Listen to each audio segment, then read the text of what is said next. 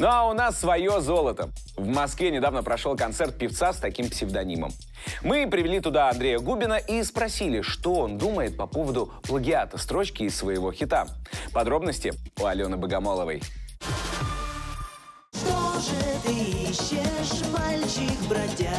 Уже не мальчик и точно не бродяга Андрей Губин. Долгие годы хитмейкер не выходил на связь по состоянию здоровья. Тем не менее, певец следил за всем, что происходило в шоу-бизе все это время. Впервые полгода назад Губин вместе с Муз-ТВ решил посетить концерт Клавы Коки.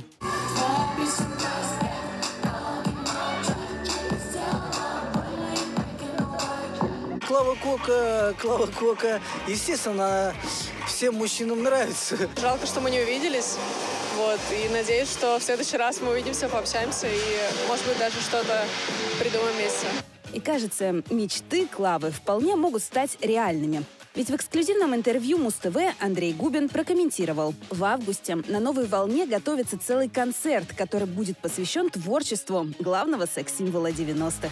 Крутой позвонил Игорь, говорит, Андрей, говорит, это, приезжай, типа, есть разговор. Он да, говорит, ну, типа, э, будем делать на новой волне то фестиваль. Я говорю, Игорь, я такой, ладно, Игорь, делайте. Меня посадят на первый ряд, я буду сидеть, смотреть, там камера иногда будет показывать счастливого композитора, который хлоп, хлопает в ладоши. Я пообещал, прогарантировал одно, ну, просто интервью, но выхода на сцену никакого не будет. Наоборот, я сказал, что на сцену я выходить не буду. Вот, петь я тем более не буду. И хоть в рамках творческого вечера исполняться будут только главные хиты артиста, все эти годы Губин продолжал писать песни. Вот, например, один из новых треков. Про жвачку есть песня «Баблгам, баблгам, баблгам, баблгам». Я иду и жую, кава опаснейший баблгам. Кстати, Марлоу, забери эту песню. И она запомнится, она станет визитной карточкой. Там бас играет, как у тебя, но там мелодия, которая вот так проходит, от бесплатно отдаю подарок.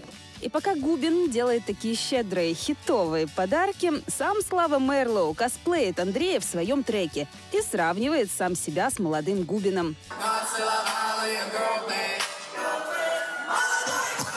Как молодой Губин, как молодой Губин. На молодого Губина Слава Мерлоу и правда похож.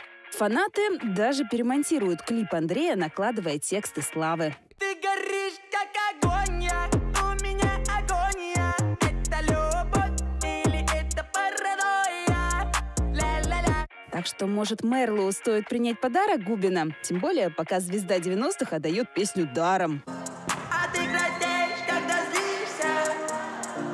Ну а пока Мерлоу больших сольников в Москве не дает, Губину приходится идти на выступление группы «Золото». Как выяснилось, артист – давний фанат этого коллектива.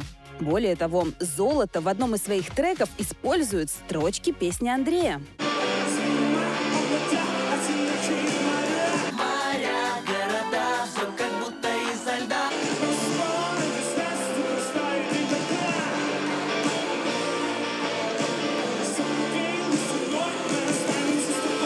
Зима холода он пел. Ну, и мне очень приятно. Вы же знали об этом, они говорят? Нет, нет. Вас разве не, спро- не, раз- не спрашивали разрешения? Нет, ну меня обычно спрашивают разрешение, ну, значит, где-то спросили, я подписал, и- или, может быть, просто авторские присылают. Внезапно на этом концерте Губина замечает певица Пелагея. Я вот еще долго думала, и подходить или не подходить, потому что не, не хочется э, человека дергать. А с другой стороны, я э, очень хотела ему сказать, что он на меня повлиял вообще, правдой. Ну, хорошо, что, русская народная певица сильным голосом. Несмотря на то, что Губин уже давно не выпускает песни, его отлично знают и фрешмены. Такие девушки, как звезды, что, сне- что светят в небе до утра. В одну из них легко и просто влюбиться раз и навсегда. Такие девушки, как звезды, такие звезды, звезды, звезды. Так может, пора Андрею всерьез задуматься о возвращении в шоу-биз? И может, он все-таки споет сам на новой волне свой новый хит, а не просто будет аплодировать в первом ряду сегодняшним артистам.